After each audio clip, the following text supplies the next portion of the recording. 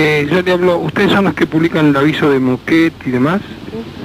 Sí, este, yo le hablo porque hay algo que nos llama la atención aquí en obras sanitarias, a raíz de que usted dice, además hacemos inundaciones. Sí. ¿Qué es eso?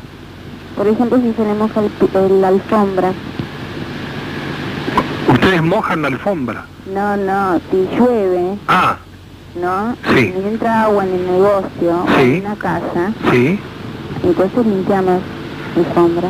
Ah, porque aquí dice, además hacemos inundaciones, parecería que ustedes inundaban algo. No, Entonces, con el lío que tenemos nosotros en todo el país, con las nuevas tarifas de obras sanitarias, dije, voy a llamar aquí para ver que por lo menos no venga después la gente a decir acá que te permiten que se hagan inundaciones mientras falta agua en otros lugares del país, ¿no? no, no.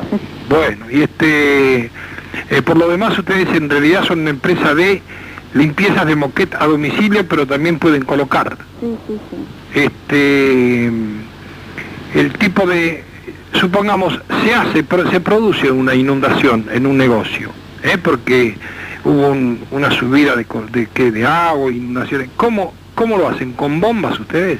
No, con una máquina especial, señor. ¿Con una máquina especial Sí, que retiran el agua? sí, sí, sí. Y lo que haya quedado... y después limpian la alfombra.